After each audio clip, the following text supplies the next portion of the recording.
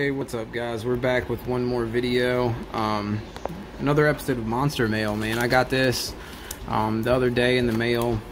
Some pretty cool cards for some decks I'm building. Um, two cards that are not in here that I already got in the deck box. I just didn't think about doing this in time.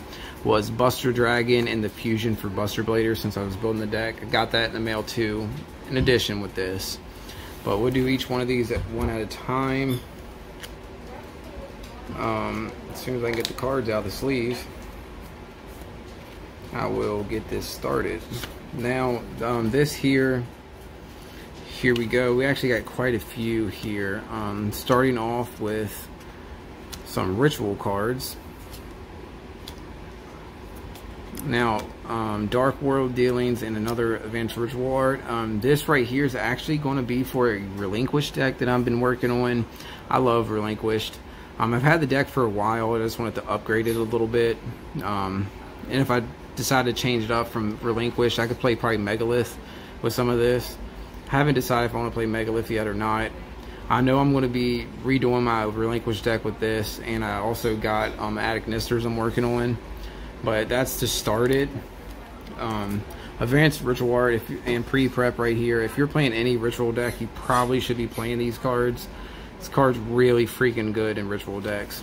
Um, Dark World Dealings I actually got like five more copies of this just came in.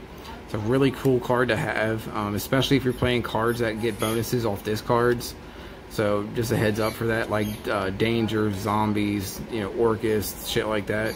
Ritual Sanctuary, I've never actually played this card. I needed one more copy for to, you know, do my play set.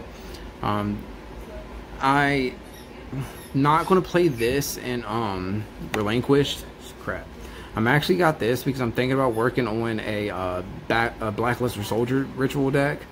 Um i just haven't really started too much of it. I just wanted to go ahead and get a copy to finish my playset just in case i do decide to actually build the deck. Um that's starting it.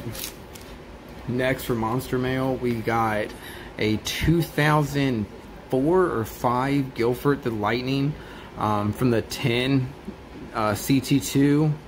Um, it's a it's light played, maybe moderately played. Um, I got it super cheap though, man. I got it for like a buck. Um, the is actually worth a pretty decent amount though. Um, if I can keep it, you know, in the condition as it's in so it doesn't get any more worse, the card will go up in price even though it's moderately played. Um, next, we got um, two Instant Fusion. I went ahead and picked this up from Fusion Enforcers. I mean, who doesn't love Instant Fusion? Uh, it'll go in whatever decks I'm building. I always play Instant Fusion. It's a fucking strong card, man. If you're not playing Instant Fusion, recommend you do. Um, we also got an Alti. Um, next on the list is number 91, Thunder Spark Dragon.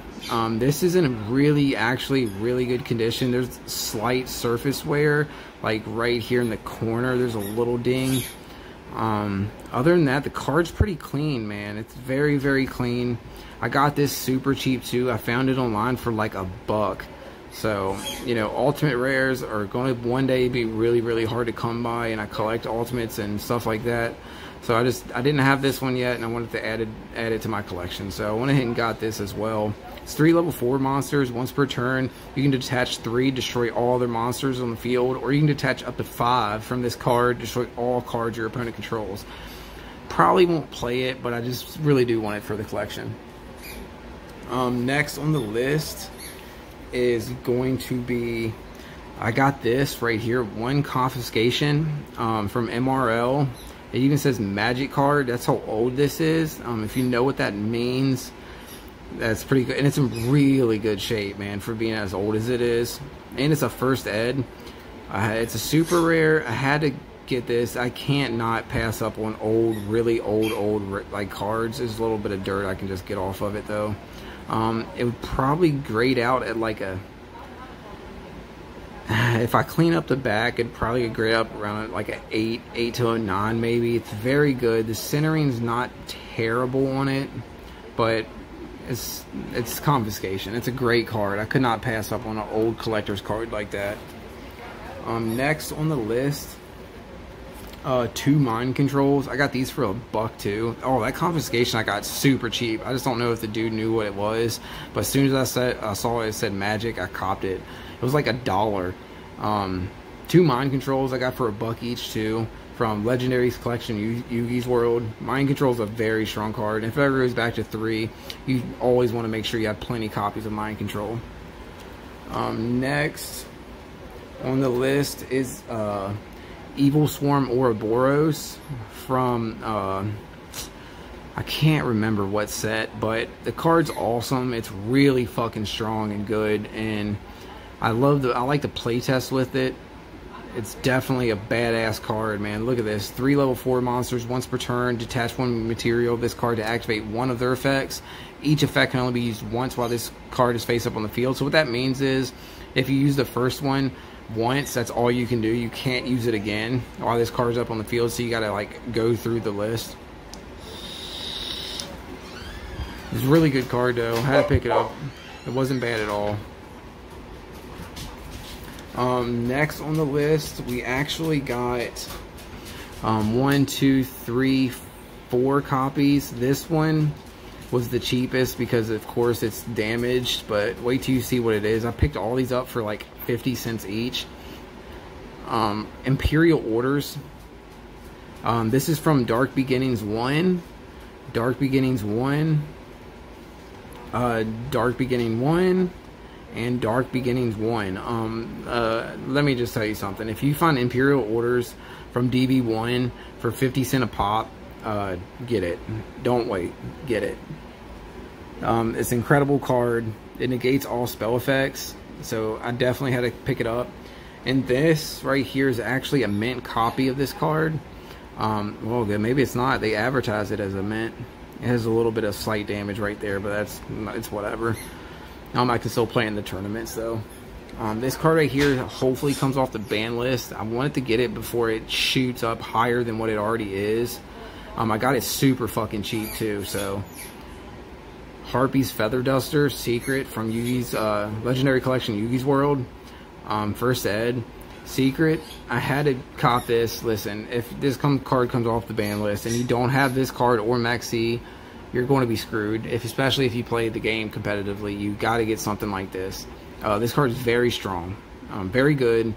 It's, it's, this card is, sits around twenty to thirty dollars, um, especially in mint condition and first ed.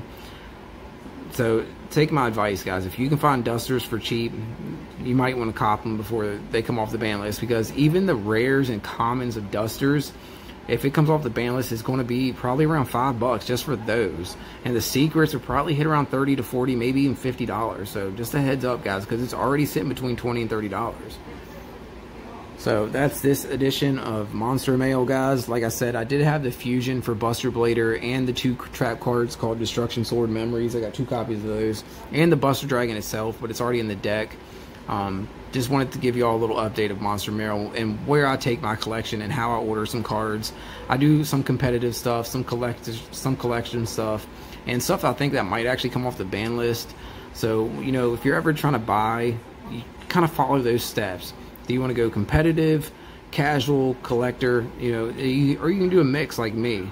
Um, it, you can take it whichever way you want, but just as a heads up, guys, definitely definitely get this card. Definitely get this card, especially with the price of it right now. Get it before it jumps because it's an incredible card.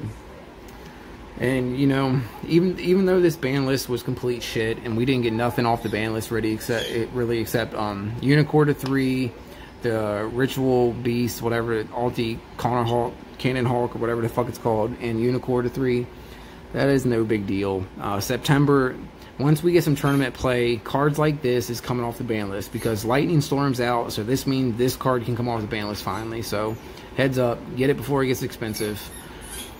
You know, try to try to you know know what's coming off the ban list before it actually does, and it'll trust me, you save money. Well, guys, this is the next edition in Monster Mail. Hope you enjoyed it. Y'all take it easy.